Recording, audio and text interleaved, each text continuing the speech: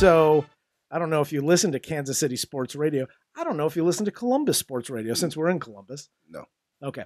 Um, sports radio has been dying a slow death. It died in Columbus. There's one Um, option. they- exactly. So apparently, this dude, what's his name? Kevin Kietzman. He's a Kansas City radio show host.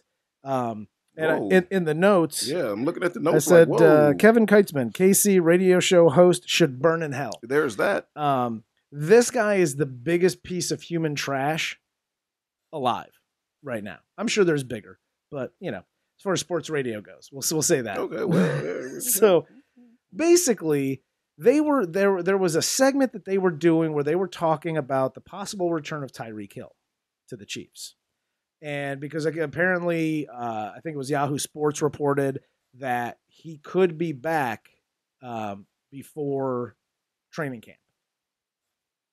So that was the initial I report. didn't know he was suspended. apparently i don't know i don't know what the deal is so they were talking about the possible return he's going to be he's going to be there for training camp um, and kevin kietzman is the host of between the lines an afternoon radio show on sports radio 810 whb in kansas city he's also listed as i believe they're like vice president of the radio station so it was good of him to give himself a radio show Yeah. um, in this whole thing, he starts talking about Andy Reid and his lack of discipline and the Chiefs organization for their lack of discipline, which we have talked about. Yep. I never said Andy Reid. I always said the Chiefs organization Yeah. from from the top, from Hunt down. Yeah. Um, but he got into Andy Reid and why Andy Andy Reid quote wasn't great at discipline. Now I don't have it set up special, so I hope it plays well on the mic. Um, but I pulled up the the Deadspin article, and in the Deadspin article, they have the audio from what he said about Andy Reid. It's 26 seconds, so I'll just play it in its entirety. You tell me how much of a piece of shit this guy is. Andy Reid does not have a great record of fixing players. He doesn't. Discipline is not his thing. It did not work out particularly well in his family life. That needs to be added to this. As we're talking about the Chiefs, he wasn't real great at that either. He's had a lot of things go bad on him family and players. He is not good at fixing people, he is not good at discipline. That is not his strength. His strength is designing football plays. So you tell me, Wow. did he bring up the death of his son, basically saying that Andy Reid eh. can't discipline his kids into not killing themselves Yeah. because of an overdose of heroin in 2012? Am I getting too specific for you? Well, no. Or, or is that basically what he said? That's exactly what he said. Okay. So there's that. Let, let's let's stick with this.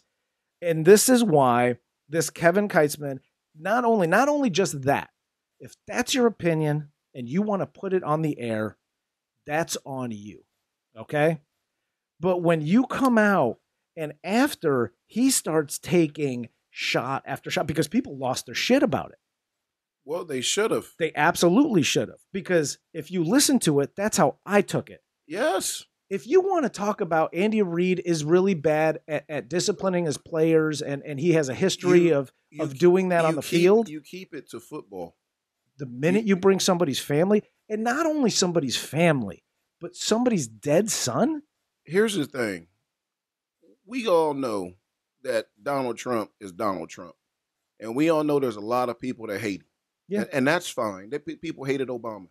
But the minute I hear people talk about his youngest son, who's on like 11 or 12, yeah, I tell them you're wrong. no, you that's you're, a, you're wrong. yeah. When they when they that. talked about uh, Obama's kids, I said you're wrong. yeah, You want to talk about him? His their wives are fair game because they're called the first lady. yeah, The minute you step outside of that scope and go to someone's kids, and this Who- is football. who the minute can't de- who can't defend you, no, themselves? no, you're wrong. And Yeah. then and then you go to this man's son who had a heroin overdose. yeah, How is that this guy's fault? How is it? How is it your place or my place to talk about it on this microphone and, uh, uh, basically blame him for it? Yeah. If I'm Andy Reid, I'm gonna go to old Hunt since he don't mind when people hit people. And I'm gonna tell when I see this dude, I'm gonna go ahead and whoop his ass. So That's you might as well call the league now Absolutely. and tell him suspend me for however long. But I got to beat his ass. And this, and instead of after taking heat, instead of going out either And retracted a little bit. either live or on Twitter or whatever, and apologize, whatever. This is he sent out a three section like his tweet he, was so dou- long. he doubled down. holy hat, holy hat. Come on, you just made fun basically hmm. and called him a bad parent because his kid died of a heroin overdose. You're gonna start with holy hat. Anyway, holy hat, what's going on here? I never mentioned one word about the tragic death of Andy Reid's son and quickly corrected a caller who did. I was talking about the owner's record of, quote, fixing players, the team's record, and Andy's record. I was referencing the drug addiction and convictions for dealing drugs. When they served time and Reid hired them to work for his football teams, it was no longer a private matter. But blaming a parent for the death of their child in these circumstances is unthinkable and reprehensible. Period. It was never mentioned or discussed and never entered my mind. It takes me uh, it makes me sad that somehow that's what some of you thought I was saying. That would be despicable. All he did was go, "Oh, "What do you what? What are you talking about? I never said Andy Reid's son's name. I never said he died and it was Andy Reid's fault. No, but you danced around it like a fucking pussy that you are, and you Yes. deserve to get that ass beat.